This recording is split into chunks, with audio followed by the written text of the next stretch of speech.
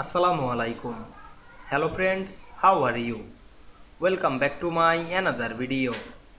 In this video, I am going to show you how to save PowerPoint presentation as a MP4. Let's get started. At first, you have to open a PowerPoint presentation or make a presentation. Now we can see here a presentation. Now we want to save this presentation as a MP4. Firstly, go to the file menu. Then click the export option then we can see here many type of saving. Now we can see here the pdf or xps file create video package presentation cd or create handouts. Now i'm select the create video and select the full hd drop down menu and choose the full hd option. Then select the sound option. We can see we enable or disable the sound. Then click the create video option then choose our file location the file and write the file name.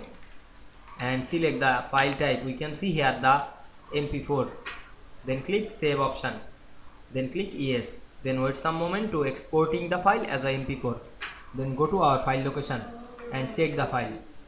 We can see here the video or mp4 file. I hope you enjoyed the video. Please like comment share and subscribe my channel. Thanks for watching